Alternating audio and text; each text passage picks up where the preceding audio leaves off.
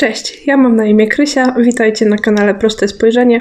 Dzisiaj zapraszam na film, w którym będę opowiadać o książkach, które przeczytałam w listopadzie. Mój listopad był dosyć dobrym miesiącem czytelniczo, bo udało mi się przeczytać 11 książek. Chociaż zaczął się dosyć, można powiedzieć, kiepsko. Pierwszą książką, którą przeczytałam to mm, Kapłan e, autorstwa Krzysztofa Kotowskiego. I tutaj dostajemy historię y, mężczyzny, y, księdza, który trafia na oddział y, szpitala psychiatrycznego z dziwnymi objawami i nie do końca wyjaśnionymi, nie do końca wiadomo, co mu jest i co mu się stało. Pomysł jest taki na tą fabułę, że jemu przedstawia się w pewnym momencie jakaś klapka w głowie i do jego głowy spływają doświadczenia i wspomnienia wszystkich e, jego przodków, tam tysiące lat wstecz. Wszystkie wspomnienia, wszystkie umiejętności, języki, jakimi oni władali i różne takie, e, po prostu wiedza całych pokoleń. On nagle ma w swojej głowie e, to, to wszystko. I tak, pomysł e, wydawał się być dobry i na początku byłam bardzo e, zaciekawiona w ogóle, co to będzie za książka, co to będzie za historia. E, była jakby obietnica takiej, nie wiem, dużej rozgrywki, potężnego zakonu, który ma swoje odnogi i jakby jego, jego władza rozpościera się na całą Europę albo na cały świat. Jest, że jest potężny zakon wszechwładnych Aureliuszy, jakieś wielkie polowanie, wielka tajemnica, a e, i taka była obietnica. A im dalej jakby w las, tym zrobiło się źle, tym zrobiło się, tym robiło się gorzej, robiło się niesmacznie. Ta książka e, była polana takim niesmacznym sosem podtekstów seksualnych, których było tak dużo, że nie byłam w stanie się przez to przebić. E, ci bohaterowie w ogóle byli dziwni, tacy. Jedna była, jak była wprowadzona jedna kobieta, kobieca bohaterka, to ona miała na imię Cipucha. Czy to jakby nie mówi samo za siebie. Było to bardzo niesmaczne, w złym sosie, w złym tonie, w złym guście. Nic. Oceniłam tę książkę na jedną gwiazdkę i jestem zadowolona, że ona nie jest popularna, nie powinna być. Kolejną książką, którą przeczytałam to Paradoks Kłamcy autorstwa Michała Klusborskiego. I tutaj znowu historia o mężczyźnie, ale zgoła inna, bo dostajemy tutaj e, faceta, który jest specjalistą od czarnego PR-u. E, to znaczy, kiedy w firmie, o i zajmuje się biznesem, i kiedy w firmie, e, załóżmy, wychodzi jakiś skandal, to on jest tą osobą, która jest zatrudniona po to, żeby posprzątać uprzątnąć, e, ocalić wizerunek, e, wyciągnąć skutki, naprawić szkody. No i wiadomo, tutaj on e, w pewnym momencie zostaje zatrudniony do jednej firmy, żeby jakby zniwelować skutki skandalu obyczajowego, którego dopuścił się prezes czy syn prezesa spółki. I okazuje się, że ta sprawa, do której on został zatrudniony, to jest część większej układanki większej e, sprawy, innej, która w zamyśle miała być ciekawa i może poniekąd była. Co do samych bohaterów, to dla mnie byli nudni, ponieważ e, to są klisze. To znaczy, mamy faceta, który jest bardzo taki męski w toksycznym sensie, nie okazuje żadnych uczuć, jest zamknięty w sobie, e, obwarowany wieloma murami, nie dopuszcza do siebie nikogo. Taki typowy macho, można powiedzieć. A z drugiej strony mamy kobietę, która jest oczywiście bardzo seksowna, w wysokich szpilkach. To też ma pseudonim Kocica i głównie służy w tej historii jako ozdoba, jako mebel i żeby lecieć na głównego bohatera, wiadomo. A nie wiem, dla mnie tacy bohaterowie są już nudni. Nie, nie, nie, nie chcę odczytać o takich. Dlatego dla mnie ta książka to jest taki mocny średniak, bardzo mocny średniak.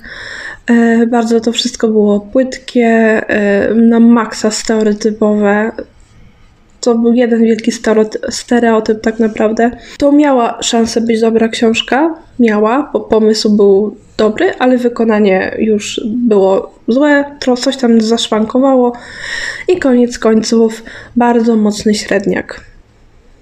Taka jest, tak jest moje zdanie. Kolejną książką, którą przeczytałam, to yy, zbiór reportaży autorstwa Pawła Reszki pod tytułem Białe płatki, złoty środek, historie rodzinne. I tutaj mamy akurat zbiór takich dosyć krótkich i wstrząsających reportaży na różne tematy, em, dotyczących głównie sytuacji w rodzinie, takich a, społecznych, e, około społecznych spraw. Na przykład historię chłopca, który, e, gimnazjalisty, który postanowił zakończyć swoje życie z powodu głodu, że nie miał wystarczająco co jeść. E, albo o kurczę, zaczynam sobie przypominać tę historię i muszę powiedzieć, że te reportaże były naprawdę, y, one były dosyć takie mocne. Tu one były takie skondensowane, tylko to tak, one nie były nastawione na jakąś dużą sensacyjność i nie wiem, opisane w wielkich słowach takich przygniatających, ale same te historie w sobie były takie ciężkie, że ym, bardzo, bardzo to, to jakby mocno obciąża emocjonalnie i nie wiem, psychicznie i tak dalej. Trudno jest sobie o tym przypominać, aczkolwiek dobre były, mm, dobre były te reportaże. Ta książka sama w sobie jest trochę nierówna, bo w pierwszej części tych reportaży, y, waga tych reportaży jest o wiele y, cięższa, te sprawy są o wiele mocniejsze i w drugiej części, kiedy przechodzi autor do mm, równie ważnych, ale już, no, umówmy się, lżejszych y, spraw, to one już nie wybrzmiewają, mam wrażenie, tak mocno. E, Albo nie wiem, czy czytelnik już nie ma siły po prostu przykładać takiej uwagi do tych spraw, bo całą swoje, całe swoje zasoby zużył już na poprzednie sprawy. I gdyby ta książka była e, inaczej poukładana, po prostu kolejność reportaży, to mogło być trochę, to uważam, korzystniej dla czytelnika, aczkolwiek wciąż to jest bardzo dobra książka. Mm, Są tutaj obnażone różne patologie i systemu, i ludzi, i po prostu tej obojętności, która często jest w ludziach. Warta, warta przeczytania, chociaż akurat tutaj zgodzę się z tym, że niełatwa i prawdopodobnie nie dla każdego, bo nie każdy będzie w stanie, myślę, unieść tę historię po prostu na swoich barkach. Kolejną książką e, to Wrony autorstwa czeskiej e, autorki Petry Dworakowej. E, I to jest bardzo dobra, bardzo dobra pozycja. Aż się uśmiecham po prostu, jak o niej myślę, bo ta książka reprezentuje sobą coś, czego ja szukam w literaturze. Dla, dlaczego w ogóle ja czytam książki? Tutaj mamy e, historię e, rodzinną. Dziewczynkę, poznajemy dziewczynkę, 12-letnią Basię, e, która ma mamę, która ma tatę, która ma również starszą siostrę. I e, wydawać by się mogło z e, dalszego planu, że to jest całkiem normalna rodzina, takich jakich wiele, e, kochająca się, szanująca.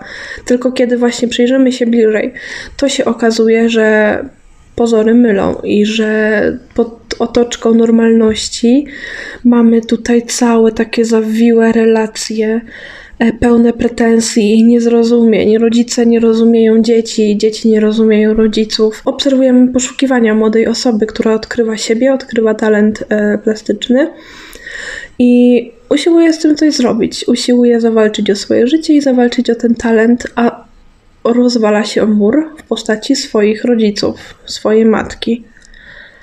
A równocześnie matka, mając jakieś swoje oczekiwania względem córki, rozbija się o mur tego, jaka ta córka jest.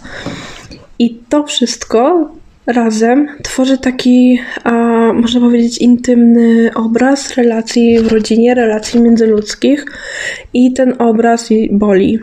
Jest trudny, bo chciałoby się wskoczyć między tych ludzi i powiedzieć: Ludzie, opamiętajcie się, co wy robicie, niszczycie się nawzajem. Bo tutaj jest też bardzo mocno przedstawiony ten wątek przemocy psychicznej, jak ona y, wkrada się po cichu między ludzi i jak ona niszczy. A jest to bardzo dobra, bardzo dobra książka. Ona też nie jest długa.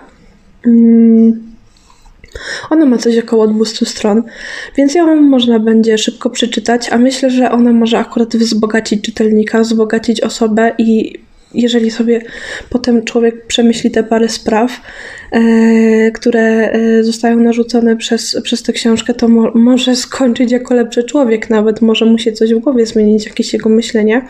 Więc e, tutaj uważam, że warto po nią sięgnąć, warto, warto czytać.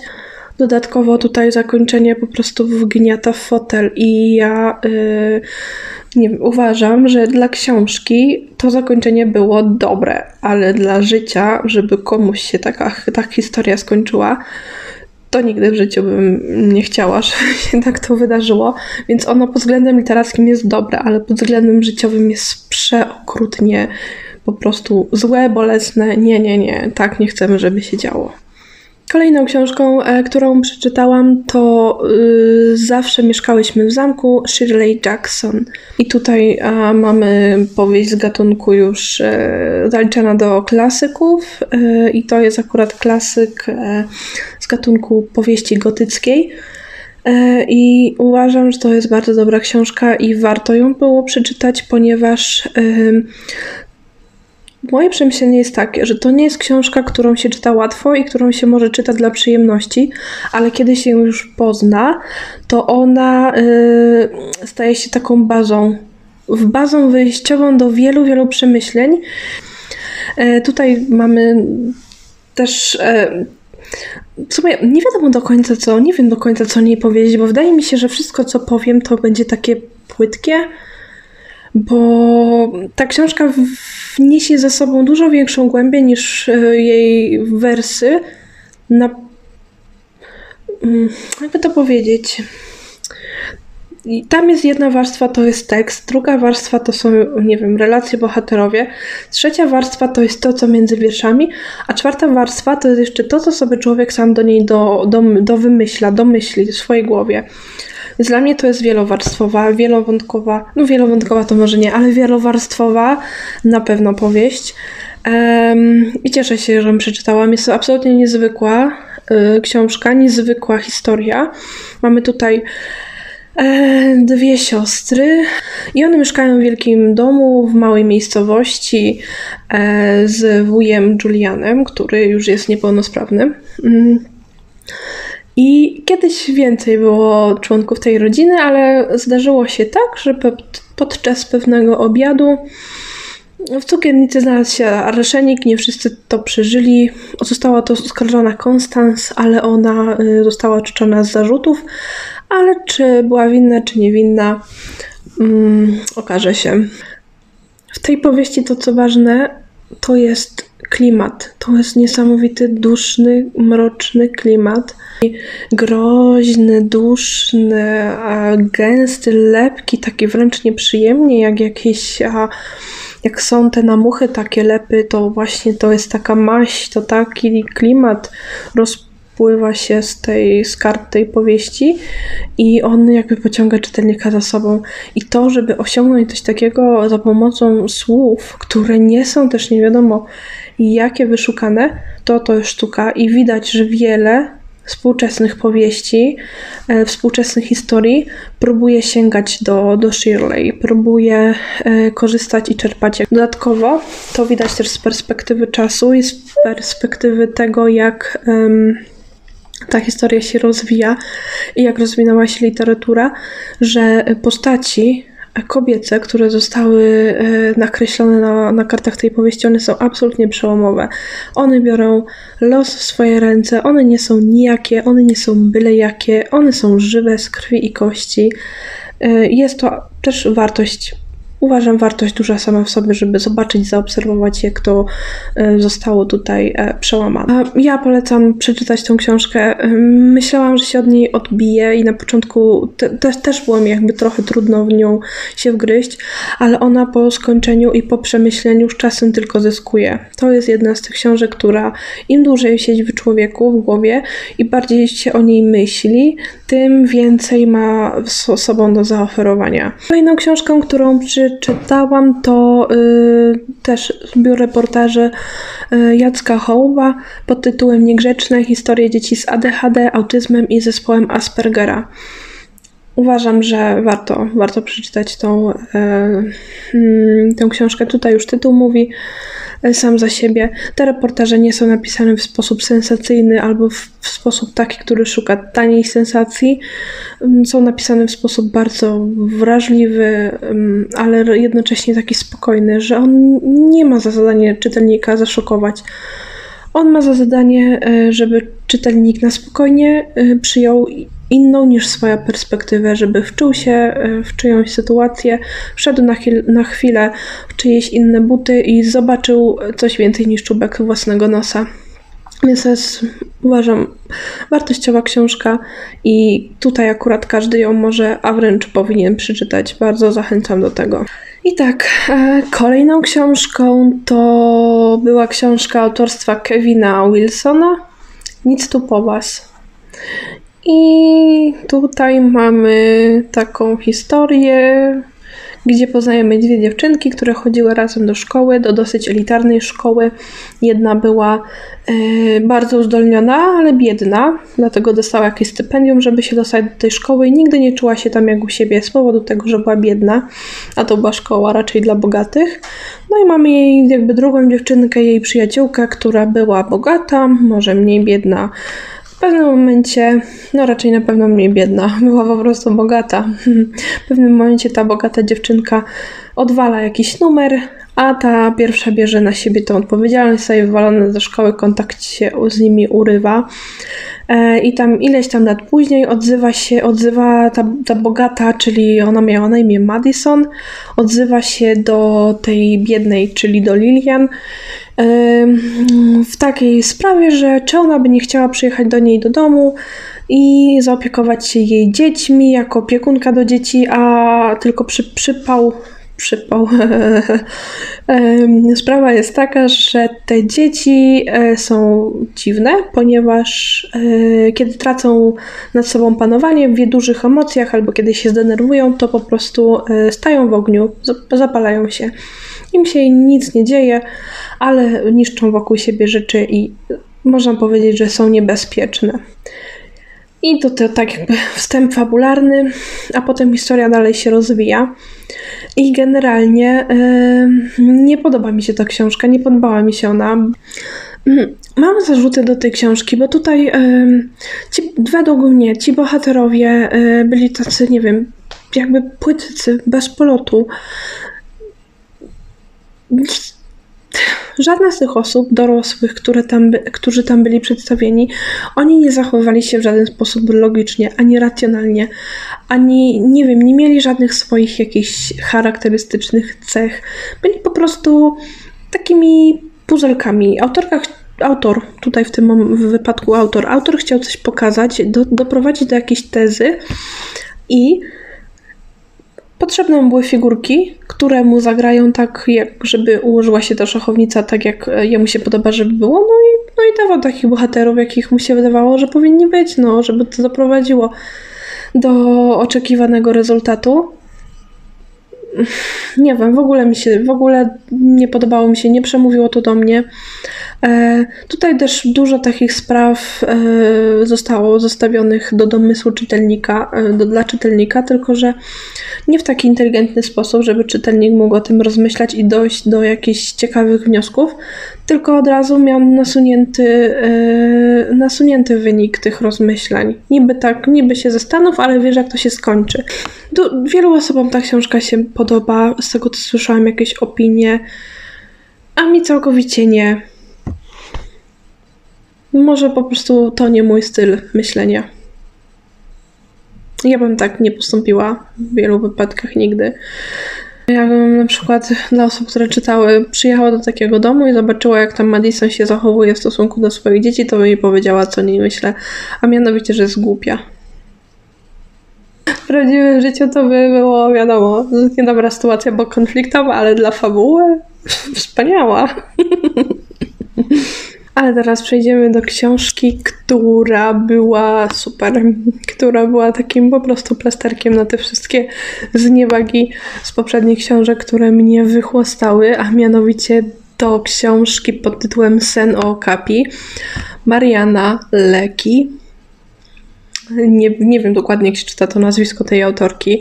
Wiem, że jest to niemiecka, e, niemiecka autorka, niemiecka powieść i ona podobała mi się bardzo. Tutaj jest historia taka, że jest e, taka już starsza osoba e, w rodzinie i we wsi, małej społeczności, Selma.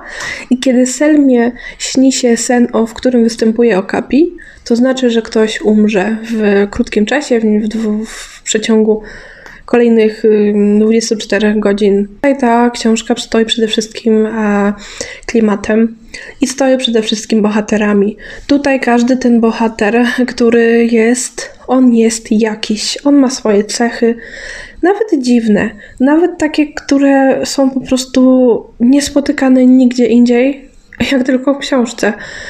Ale każdy z nich ma coś swojego i on jest po coś. Widać, że kiedy się patrzy na całą tą społeczność, to każda jedna osoba tam jest po coś i to jest niezwykle ciepłe uczucie, bo nawet jeżeli ktoś jest um, jakiś taki, można by z boku po ludzku ocenić, że bezużyteczny, bo jest pijakiem albo e, robił jakieś głupie rzeczy całe życie, ale on jest jako część społeczności po coś. On jest wciąż pomimo wszystko człowiekiem, jest chciany, jest kochany, jest akceptowany taki, jaki jest.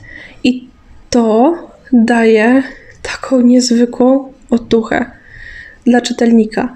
Bo to też nie jest tak, że ta książka jest taka pluszowa i ona jest um, taka bezmyślnie różowo-cukierkowa, bo tak też nie jest. Ale ma w sobie coś, co daje właśnie takie niezwykłe ciepło. I dobrze się o niej myśli. I dobrze się wspomina. I tutaj były różne wątki, które normalnie mi się w ogóle nie podobają. Na przykład wątek e, Instant Love. Ten motyw, że spotyka się dwoje bohaterów, dziewczyna i chłopak, widzą się pierwszy raz w życiu i od razu wiedzą, wiedzą, kochają się. Już to jest to, to jest to. Na zawsze. A tutaj to było i mi się bardzo podobało, bo tak ograne, że ja uwierzyłam w to totalnie. Od razu kupiłam to i mówiłam: tak, tak, to jest on, to jest dokładnie ten człowiek, którego ty potrzebujesz. Niesamowita, niesamowita. Wiem, że nie będzie dla każdego, bo jeżeli ktoś się nie polubi z bohaterami i nie wejdzie w ten klimat, to nie znajdzie tutaj dla siebie po prostu nic ale mi jakoś, ja jakoś to weszłam i ja znalazłam tu dla siebie wszystko. I tutaj przechodzimy do książki, z którą e, miałam duży problem i musiałam ją dużo przemyśleć i prze, przedyskutować w, w głowie ze sobą, a mianowicie jest to Czerwony Głód e, Ani Applebaum. I to jest książka, która opowiada o tragicznej historii, tragicznych po prostu y, wydarzeniach, które miały miejsce na Ukrainie i w Rosji mm, y, w XX, wieku. W 1929 roku Stalin zainicjował politykę y, masowej kolektywizacji i odebrał ziemię milionom chłopów, w wyniku czego e, nie mieli co jeść, jak uprawiać ziemi. I zapanował śmiertelny głód, który e, pociągnął za sobą, szacuje się, 5 milionów ofiar, a, a może to być dużo większa liczba. I tak, tutaj musimy rozróżnić dwie rzeczy. Samą historię, która jest absolutnie wstrząsająca, tragiczna, o której powinno się mówić, o której powinniśmy być świadomi, od książki, która przedstawia te wydarzenia, która w mojej ocenie już taka dobra nie jest. Nie jest dobra, ponieważ autorka ciągle się powtarza. Połowa tej książki to są ciągłe powtórzenia. Bez chronologii, po prostu ona się powtarza. To jest tak, jakby ona sobie przygotowała yy, jakiś szkic, szkice, zbierała notatki i potem nie zrobiła redakcji, tylko po prostu opublikowała wszystko to, co ma. Druga kwestia, któr, z którą miałam duży problem, to e, res, research. Mianowicie e, w, to wygląda tak, jakby e, autorka zrobiła szeroki, duży research, prze, do, przeszukała jakieś dokumenty, mm, próbowała się dowiedzieć jak najwięcej o tych sprawach, ale zrobiła to pod tezę. To znaczy nie, nie zrobiła tego obiektywnie na tyle, na ile się dało, bo wiadomo, że totalny obiektywizm zupełnie nie istnieje, ale ona tutaj ewidentnie widać, że zrobiła to pod tezę. Jest dużo takich wątków, kiedy widać jej przekonania. I widać, ta autorka przebija, y, kalka tej autorki przebija przez strony e, tej książki, ponieważ ona wypowiada się jako osoba z elit, jako osoba o poglądach neoliberalnych używa neoliberalnego języka, skupia się na aspektach tożsamościowych bardziej niż jakichkolwiek innych, bardziej niż na politycznych, bardziej niż na ekonomicznych. Te wydarzenia po prostu są ogrywane pod tezę. One nie są osadzane e, w otaczających realiach. Wiecie, historia to są ciągi przyczynowo-skutkowe. A ona robi coś takiego, że wyrywa sobie poszczególne wydarzenia, e, nie osadza ich w realiach, a pokazuje je osobno. Pokazuje je jako po prostu tak się wydarzyły. Żaden dobry historyk tego nie robi. Jeżeli, każde wydarzenie historyczne cokolwiek by się nie wydarzyło, jest szeroko zawsze osadzane, bo były takie realia, bo tak się działo, bo były takie nastroje, bo były takie rzeczy, które to umożliwiały i tak dalej. I tutaj jest też coś, e, co pokazuje, wiadomo, w tym jest sporo prawdy, ale nie jest to jakby obiektywna prawda, to nie jest fakt, że Rosja, mateczka Rosja to jest ta bezapelacyjnie zła, czarny po prostu charakter, a Ameryka to ta dobra, to ta nieskazitelnie dobra i wyższa siła wręcz. Dodatkowo są tutaj fragmenty, gdzie pani po prostu yy, wyrzuca krótkie zdania, które nie, nie współgrają ze sobą. W sensie to są po prostu wrzutki, takie hasełka powrzucane yy, i z nich teoretycznie ma się wyłonić obraz, a wyłania się kolaż, tak bym to nazwała, gdzie pani się myli, kiedy opisuje y, ideologię marksistowską czy socjalizm radziecki, myli e, własności. Y, no, to są już takie błędy. No nie powinno się tak zdarzyć, to powinno przejść przez jakąś korektę lepszą, jakiegoś specjalistę. Są to wydarzenia ważne, nie, nie, nie powinniśmy y, zapominać o nich, albo żeby to przepadło albo żeby zostało zamaskowane. Powinniśmy jakby pamiętać o tych ofiarach i e, o tej historii, ale nie w ten sposób. Nie ogrywać jej pod siebie. Wtedy zginęło tyle milionów ludzi. I to nie dlatego, że nie było co jeść, tylko e, dlatego, że ten głód był sztucznie wywołany przez władzę. To była zagrywka polityczna i to nie jest historia, której należy zapominać. E, czy od, od, odrzucać ją w odmęty pamięci, ale z drugiej strony to też nie jest historia, którą należy przepisywać pod siebie, żeby teraz coś ugrać, żeby teraz się pokazać, bo to znowu jest potwarz w stosunku do tych e, ofiar, do tych wszystkich ludzi. To już jest druga książka, którą ja przeczytałam tej autorki. Pierwszą czytałam coś o demokracji i miałam dokładnie taki sam, a zmierzch demokracji, dokładnie. I miałam takie same zarzuty do niej, że ona y, z jednej perspektywy to tylko pisze, i to właśnie z perspektywy elit, z perspektywy neoliberalistów, którzy, jeżeli przyjrzeć tendencjom y, światowym, no to już troszeczkę odchodzą do lamusa. Ich teorie się nie sprawdzają.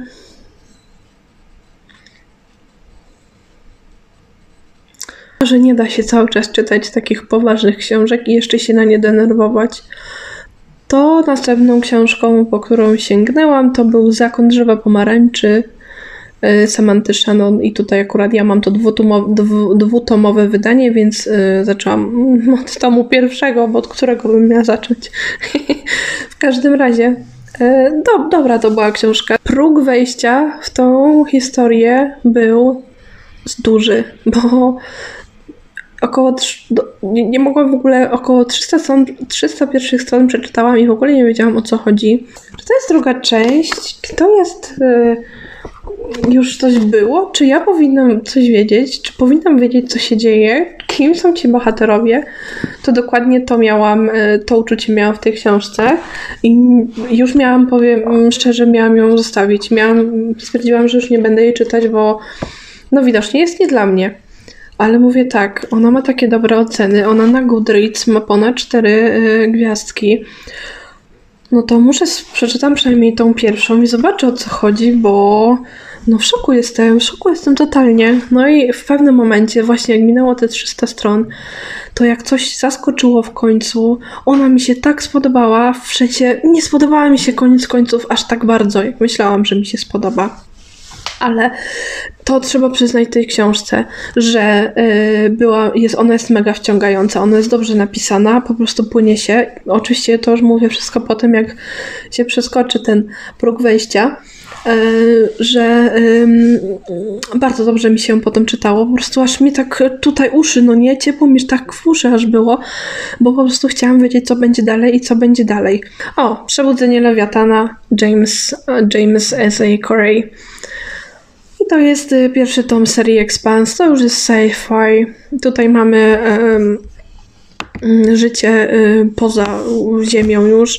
Ludzie mieszkają na Marsie, na Księżycu, w pasie asteroid. No, bo tu też mamy e, detektywa, policjanta Millera, który otrzymuje zlecenie, żeby po godzinach, czy tam w, jako dru, dodatkowa fucha, odszukać Julie Mao, czyli dziewczynę, która tam, jej rodzice są dosyć bogaci, ale ona pogardziła tym rodzinnym majątkiem i dołączyła do rewolucjonistów.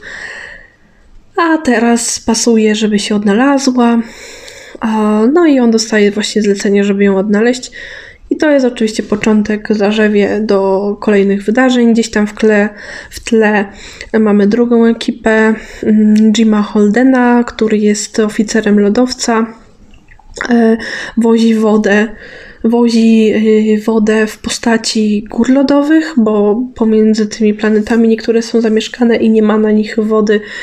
E, Na przykład na Marsie nie ma, przykładowo na Marsie nie ma wody e, na Marsie, jakby na planecie, dlaczego trzeba ją dowieść z kosmosu w postaci właśnie tych brył lodowych i oni, oni mają taką pracę, że się zajmują tym. W pewnym momencie oni trafiają na jakiś opuszczony inny statek e, i tutaj są świadkami czegoś dziwnego.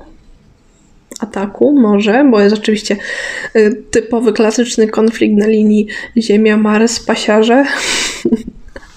Ty mówię typowy, bo często to się zdarza. Bo często to się zdarza w powieściach typu science fiction. Taki konflikt. Ziemia vs. nowa o, planeta osiedlona, zamieszkała przez ludzi. No, ludzie mają coś w tym, żeby się zawsze kłócić z kimś, więc jestem w stanie uwierzyć w takie wątki. W każdym razie, dobra. Dobra była to książka, podobała mi się, miała swoje wady, miała swoje zalety. Koniec końców więcej jest tych zalet. I to już są wszystkie książki, które przeczytałam e, w listopadzie. E, Dziękuję bardzo za obejrzenie tego filmu. Zapraszam do dyskusji, do kontaktowania się ze mną e, tutaj w komentarzach albo może, może na Instagramie. I dziękuję jeszcze raz za obejrzenie tego filmu. Życzę miłego dnia i do zobaczenia. Cześć!